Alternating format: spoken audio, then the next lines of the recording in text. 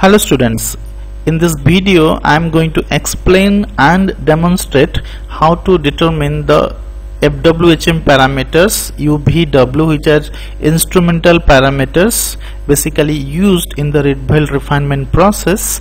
In the present example I have taken the data of XRD data of lanthanum hexaboride to calculate the this Cagliotti function okay Cagliotti function. And by fitting this function we can calculate uh, in x-axis we can put this FWHM parameter this Lorentzian and Gaussian contributions. And in y-axis we have 2 theta or theta it's up to your choice and we will determine the UVW parameters okay? So let's start the fit uh, how I calculate it. So first of all we need the XRD data of lanthanum hexaboride this is the XRD data. From each of the peak what we are going to do we are going to calculate uh, what we'll do. We'll fit each peak using a Voigt function and we'll calculate the FWHM contribution for Gaussian and Lorentzian okay? So we have to collect the data for each and every peak so in my XRD data uh, I'll show there are many peaks so around 17 peaks I have used the data. So let me import the data first.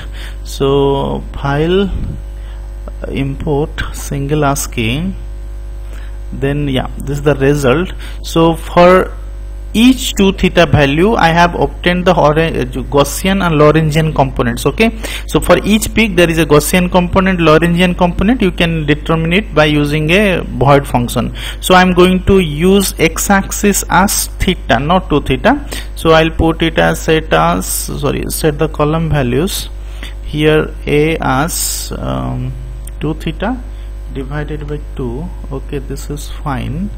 Then uh, let me plot it. So this is the way the graph must look. So now you feed the data. You put control y.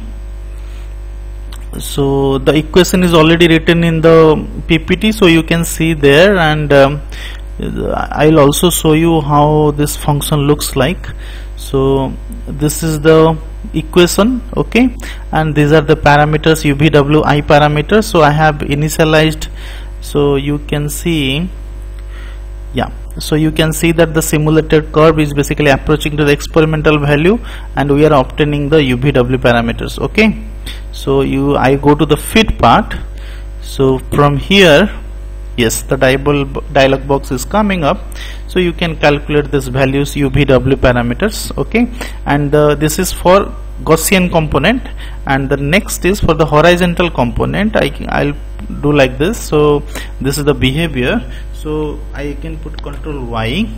So this is the equation 2 so this is user defined. Then this is Cagliotti 2 this is the code. So y-axis is a Lorentzian component of the Voigt profile and this is the theta.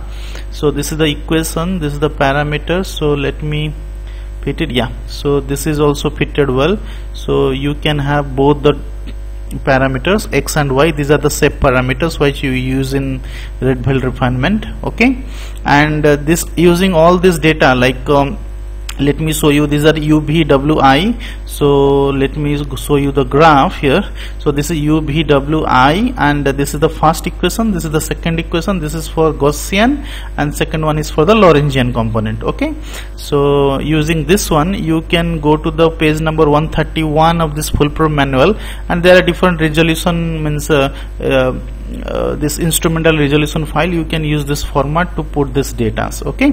So I have done this basically for lanthanum hexaboride you can use your own standard like silicon or yttrium oxide. So you can see uh, uh, in conclusion I would say that you need to calculate these parameters. These are very essential parameters which are used in the Rietveld refinement process. And uh, if you have any comments for uh, this video you can post it and I will be very much happy to answer that. And um, thank you